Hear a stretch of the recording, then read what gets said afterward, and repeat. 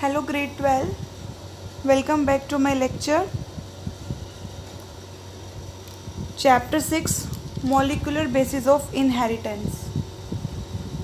So today we will discuss the next part of the chapter which include Lac-Operon model. Okay, so Lac-Operon concepts or also known as gene expression in prokaryotes or inducible operon concepts. Lac-Operon concept was first proposed by French biologists Jacob and Monod. Okay. Experimentally, they demonstrated the regulation of the gene in E. coli. Okay. So these are the two scientists you can see in the uh, images. An operon is a group of the gene that are transcribed at the same time and the sequential arrangement of regulatory gene, promoter gene, operator gene and structural gene in prokaryote is called operon concept. In the given diagram you can see regulatory gene is present, promoter is present, operator and structure all these are present.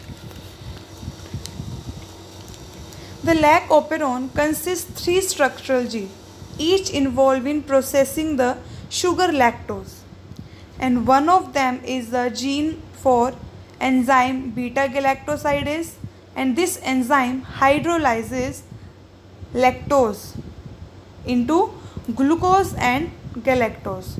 So the beta galactose uh, galactosidase is an enzyme which hydrolyzes the lactose okay into glucose and galactose. Now the cultural situation for E. coli when glucose is present and lactose is absent, then the E. coli does not produce any enzyme that is beta galactosidase. Okay, why? Because lactose is absent, absent, na that's why.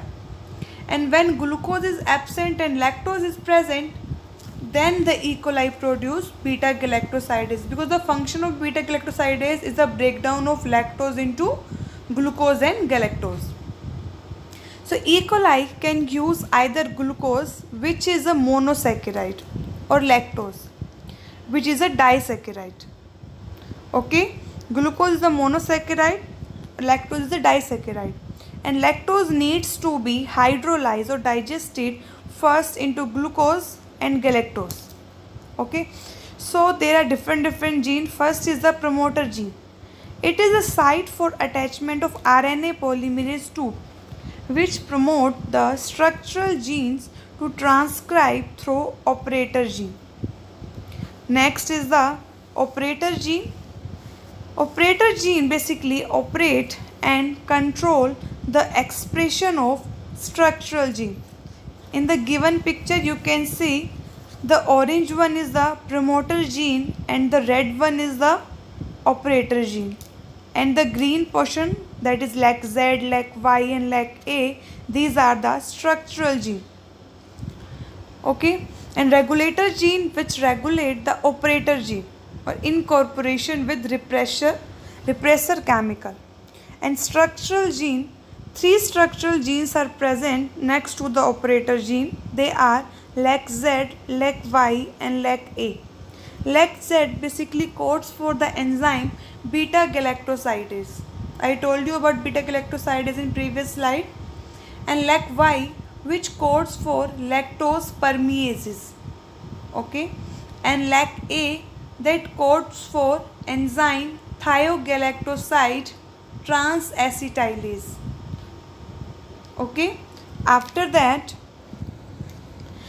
if the lactose is absent or in the absence of lactose that means switch off condition then there will be no transcription because beta galactosidase that enzyme will not produce.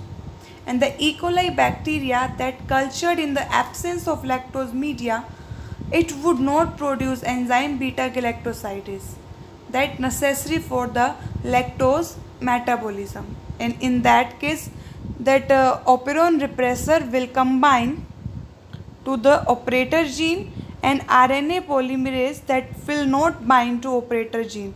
Why? Because that site is consumed or occupied by the repressor. After that, in this condition, structural gene are switched off. So in the absence of lactose, the repressor protein synthesized by regulator gene that binds to the operator gene. I told you that regulatory gene will synthesize repressor and that repressor bind to the operator gene so that that site will occupied by repressor and RNA polymerase will not bind to that site and no transcription will occur. So this block the RNA polymerase to transcribe structural gene hence the enzyme are not produced by LAC Z, LAC Y and LAC A. If the lactose is present that means switch on condition then there will be enzyme synthesis occur that means transcription occur okay so the E. coli bacteria that are cultured in the presence of lactose media then it produces the enzyme beta galactosidase and it is necessary for the lactose metabolism without that enzyme lactose metabolism can't take place in this condition structural genes are in switched on condition LAC Z, LAC Y, LAC A, these are the structural gene.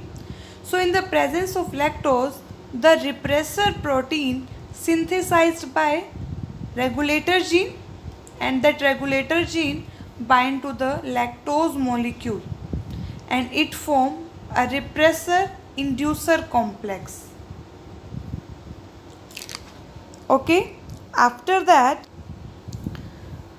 the inactive repressor complex does not bind to operator gene okay? That repressor will inactive on that time and then RNA polymerase 2 transcribe structural gene to produce enzyme. Because if the repressor will not bind then the space will not occupied by any repressor gene. So during that time RNA polymerase will bind and they produce enzyme for the lactose metabolism. Okay? So rest part we will discuss in the next lecture. Till then stay at home stay safe be happy and thank you